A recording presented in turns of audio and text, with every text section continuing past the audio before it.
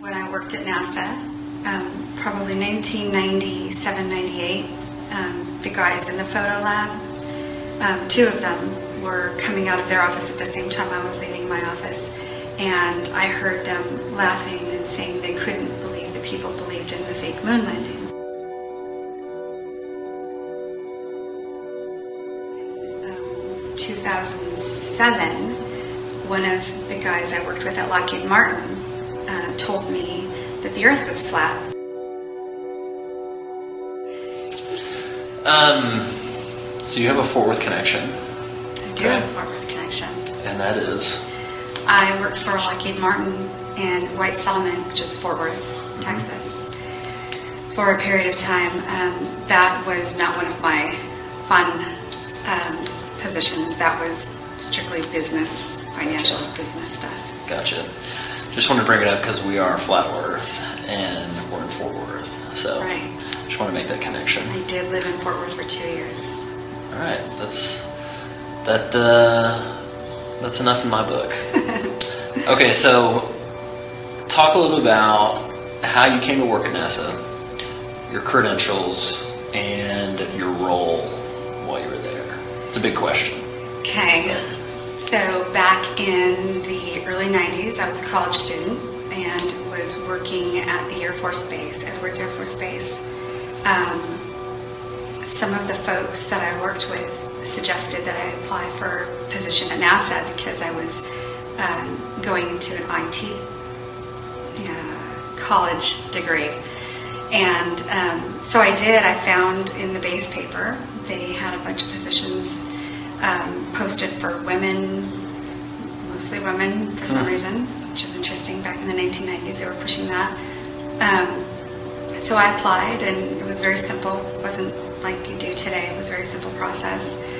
And so in 1996, I was hired on with a contractor for NASA. The contractor is called Woodside Summit Group, and um, they they do various contracts, not just NASA. Um, I worked directly in a NASA facility called Dryden Flight Research Center, which is one of the main um, NASA facilities in the U.S.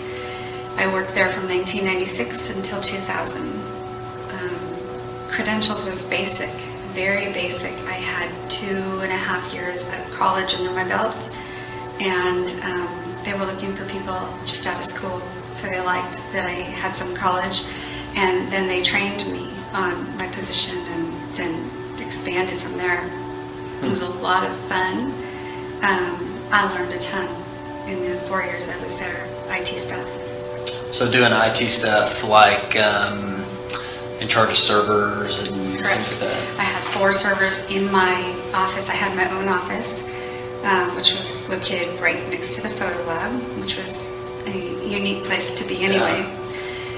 Um, so I had four servers. My servers were the backup servers for all the computers at the facility, Okay. The entire facility. the entire Dryden facility. Gotcha. Did all the backups. Um, it would go. It would rotate through computers each night. Okay. Um, what kind of degree did you get? Um, it's or what, what did you study? when you business school? IT. Okay. Gotcha. Um, how how did you come into flat Earth? Because you weren't a flat earther when you worked at NASA, Correct. Right. So tell me about that journey. So um, it's actually, if you don't mind, if I go back a little bit Please. further, um, when I worked at NASA, um, probably 1997, 98, um, the guys in the photo lab, um, two of them were coming out of their office at the same time I was leaving my office, and I heard them laughing and saying they couldn't believe that people believed in the fake moon landings. Now, obviously, I wasn't aware of any of this then. I had no idea. So I honestly just thought they were crazy. Um, so I kind of brushed it off and I didn't think about it again for many years. And then in um, 2007, one of the guys I worked with at Lockheed Martin uh, told me that the earth was flat. And I discarded the information because he didn't really give me a lot of detail. He was an engineer, very smart guy on the F-117. Um, Wait, wait, a smart guy that believed in a flat Earth. very educated. Okay. okay. Very educated and very Gotcha. smart and aerospace Okay. background. Um, told me that the Earth was flat, and again, I discarded it because it just it was just um, nonsense at the time. So fast forward a couple of years, and um, in 2009, I woke up to pretty much everything. Um, and it's, it's a hard awakening when it's all in one, but Sure. fake moon landings, 9/11 inside job, uh, chemtrails, HAARP, and you just fill in the blanks from there. Um, I started to research like crazy. Um, so from 2009 until May of t- uh, 2016, I was just researching, studying. Um, I worked for the government until 2012. So um, NASA, then Air Force, then Lockheed, not necessarily in that order. um, but in May of 2016, um, I was doing my research and um, I ran across a video that said 75 biblical proofs of flat Earth. And I was intrigued, having had it sort of in my face a couple of times and knowing the moon landings were faked. So I uh, watched it, and my life hasn't been the same since that moment. Yeah. So, um, so your background, I mean, you're a Christian, right? Or you believe in the Bible? I do believe in the Okay. Bible. Um, because I, I lately I've found that Christian just means you take the scientific worldview and project it back on the Bible. But if you actually believe in the Bible, uh, that's a different story, Correct. right? If you believe in a literal biblical account, The geocentric. right? You had a Yes. geocentric account. Yes. Um, so, in that process, was there was there one verse that like really jumped out at you, or um, just kind of like hit you for the first time again? You know, when you reread it from a flat Earth perspective. So what I did was the book of Genesis, chapter one. Um, I went through the entire chapter for about three hours and went verse by verse um, because that's the account of creation. And so when you look at it with an open mind and um, believing in a literal Bible, which I do, um, then you stop and you take account of each verse. And when you do that and you go through the entire chapter, then suddenly you can see creation in a different light. It's um, it's it's never taught to us that way. So to read it with a different mindset, an open mind, then the entire chapter basically tells you how God put Earth together. It's like a terrarium, Sure.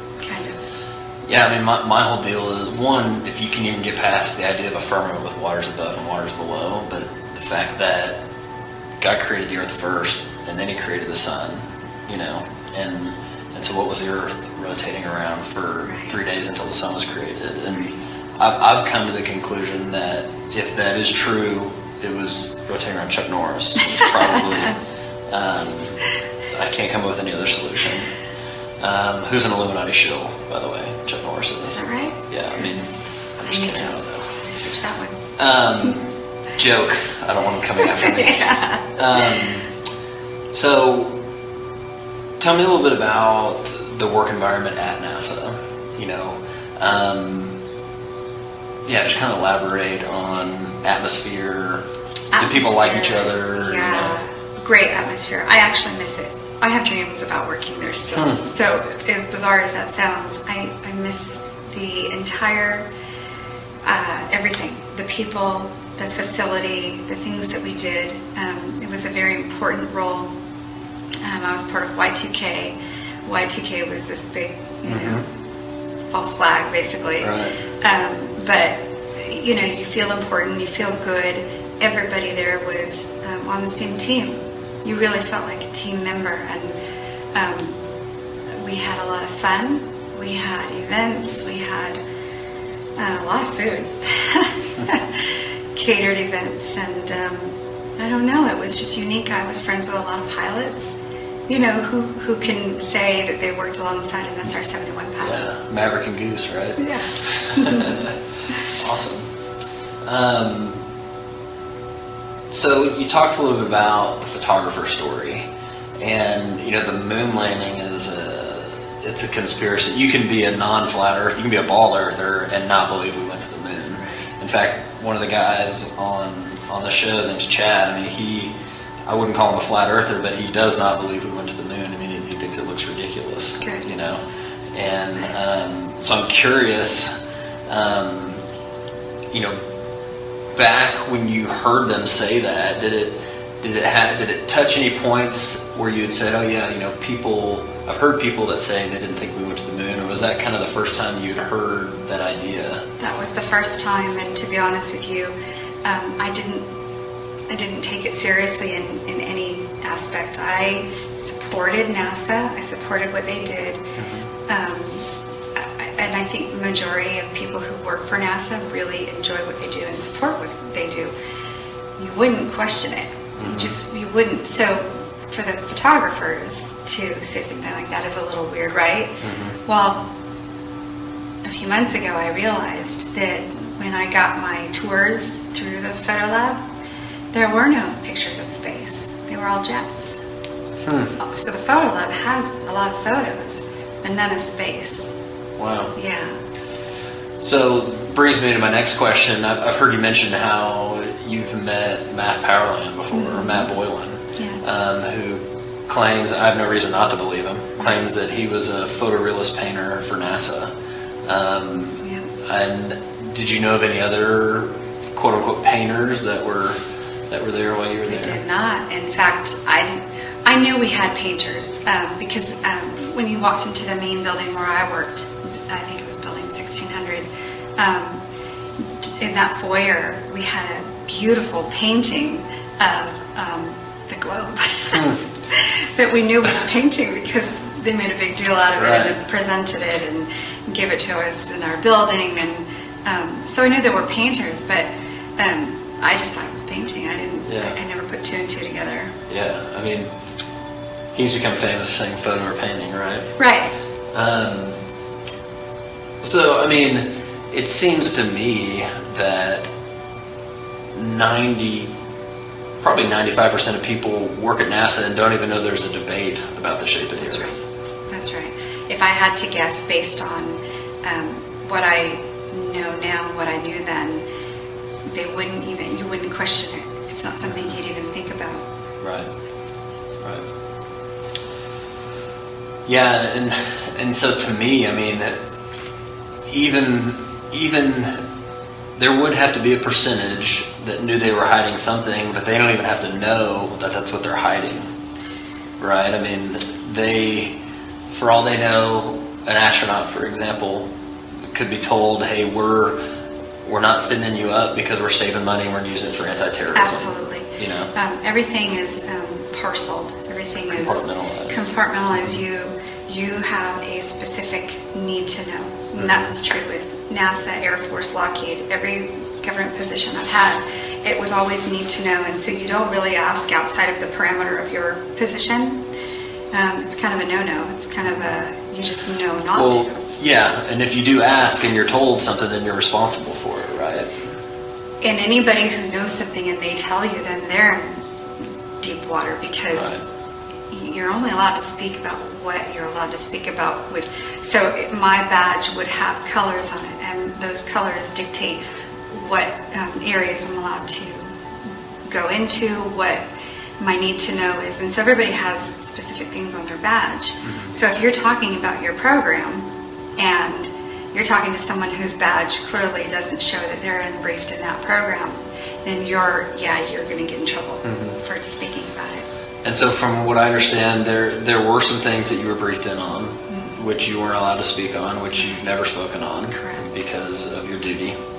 Um, so, give me an idea of on like one to ten, from your point of view, what your clearance level was, and then relate that to maybe the percentage of the facility you were even allowed to go into, or would it be even hard to even speculate on that? So I worked on something called a black project.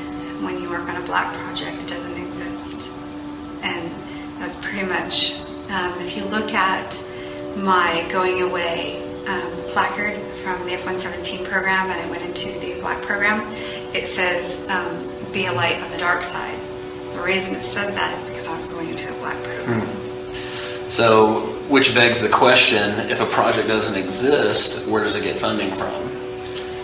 Same place, but it has um, a name that, that isn't its name. Right. It's hard to explain that. Sure. No, I get it. So, so my point would be, you know, if if NASA is getting fifty million dollars a day, and they are not sending Right. rockets up or people up, then they've got extra money for quote unquote black projects.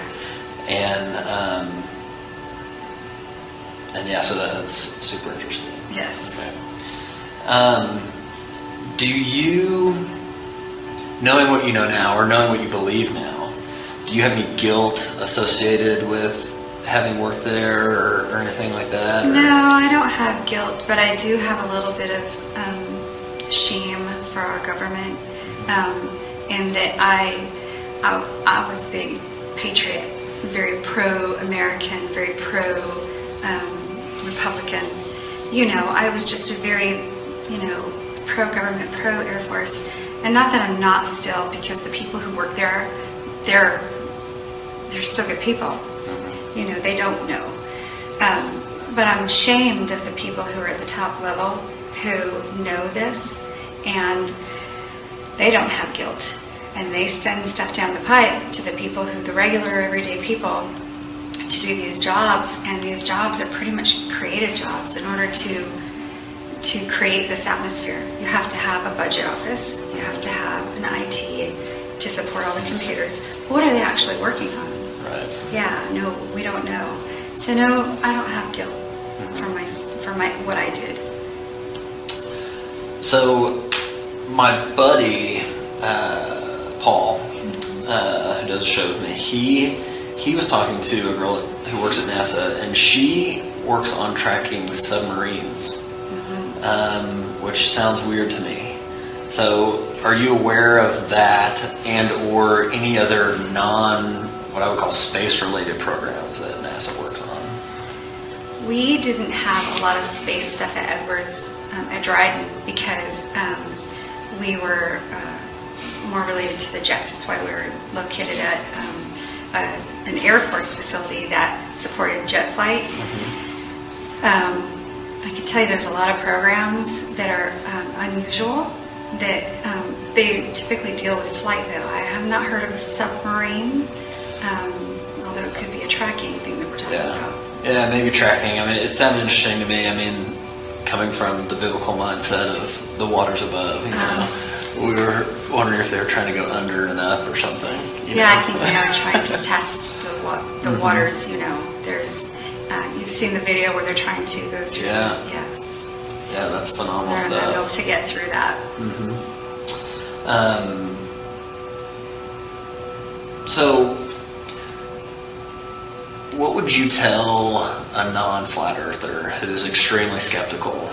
Um, if, if it's possible for someone who used to work at NASA to believe in flat Earth, it's it's I would say it's possible for anybody. But what, Right. what would your message be? I would say definitely keep your skepticism because you have to be skeptical of everything, and I am still. But I would say keep an open mind at the same time and just look into it. Give it some time. It's not going to happen in one day. And, and you can jokingly say just give it a day, but the truth is it, you need more than a day, and you need to be open minded. And just because it's so taboo doesn't mean it's wrong. Um, it is taboo, and I think there's a reason that it's become that way. I think it was purposeful. Um, anyone who says the earth is flat is crazy. Well, I'm not crazy. um, I hold a clearance, and so, I- you know, I can tell you I'm not crazy, the people that I've met who are flat earthers are not crazy. Um, what's crazy is not being willing to look at something that's um, unusual with without you know and don't put it aside without looking into it just look at it.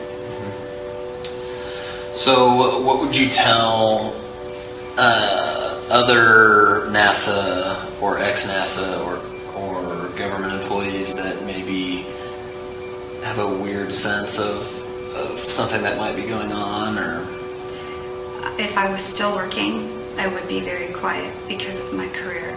So I get it, and that's the truth. Um, it doesn't mean you have to come out publicly to look into it. It just means you look into it and decide for yourself. You can still quietly share this information with those that you know, the friends, family, your children, and, and say, you know, maybe there's another option here. Maybe this this ball, this globe, um, is a theory, and we don't maybe have enough fact to back up the theory as fact, because we don't. Um, so I would say look into it quietly if, if it's more comfortable to do that, and then just share with those who are close and see what they say. any passions besides flat Earth or biblical cosmology? Truth. I'm a truther. I I basically code myself as a truther because I can't. I don't. I don't have it in me to um, to lie that way. I, I don't like lies. I like truth. Why does truther have a negative connotation? I don't understand that. It's odd because we tell our kids not to lie. Yeah. Don't lie. You know. Um, and then as adults, somehow it's okay. I'm not sure why that is, but um, I can't help myself. I have an addiction to information. It's kind of a, a weird thing, but I have an addiction to information and I can't get enough. So I'm always researching. I'm always trying to fill my, my mind up with more truth and not junk. Very careful about what I allow into my mind.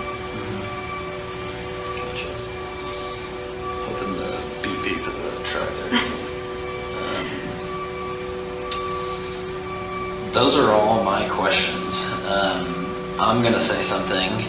Is there something else you want to touch on, Um, or think would be beneficial to touch on?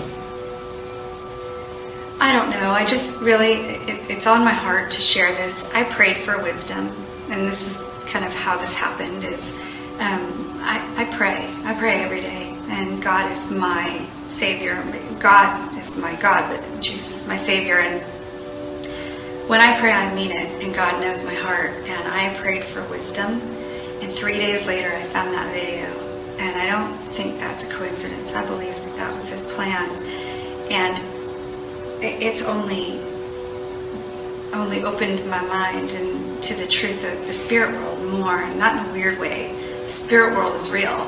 God is in the spirit world. We're not there. We're here on the earth that He created for us. So, um, as a Christian, and that's probably the number one thing about who I am, is I am I belong to Jesus Christ.